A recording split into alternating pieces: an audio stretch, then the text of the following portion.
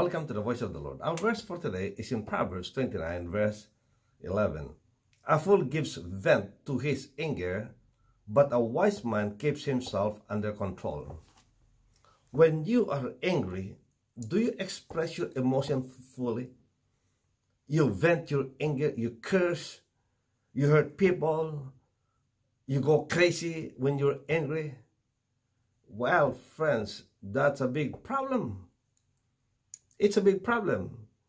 Because if you do that, then you are a fool. That's what the Bible calls you. If you have uncontrolled anger, then you are a fool. So, what should you do then? Then manage your anger because a wise man keeps himself under control. Restrain yourself, friends. Yes, there are times when uh, there is an outburst. But if it's always the case and you go beyond what is expected, maybe, uh, you know, you just want to express yourself. But if once you start cursing and throwing things at people or maybe hurting them, that's a big problem. Amen. That's a big problem because now they are you are defying everything that the Bible is telling us to do which is to be more forgiving, to be more loving, caring, to be kind. But if you start throwing out unkind words, curses, friends, it hurts. It hurts. In fact, if these things happen to you, you will get hurt too. So, what do you want others to do to you if they're angry? Maybe that's how you should respond also to others when you are hurt by them and you are angry. Because again, that is the golden rule. Do unto others what you want others to unto you. So if you want to be cursed when you offend someone, well, friends, I, I have no, I, I have no question about that. For sure, you will curse others too. But who want to be cursed? Who want to be hurt when you offend others? No. You want them to be more forgiving. You want them to understand your situation, why you are in that particular situation. Well, in the same manner, friends, be more understanding if you are the one that was hurt. Amen. Be more forgiving. Try to understand the situation, why they were angry at you, or why they had offended you. Friends, all the situations you got to to consider. Amen. And be wise. A wise man keeps himself under control. Control your tongue. Control your emotion, your actions. Especially your words, friends, your tongue.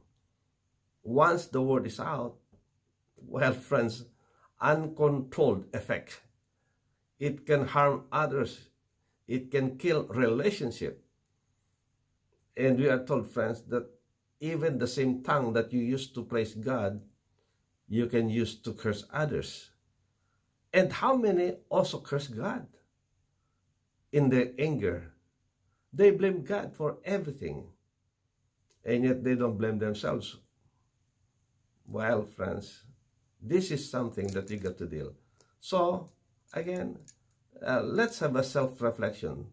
Are we always angry the way that it is being portrayed here beyond control.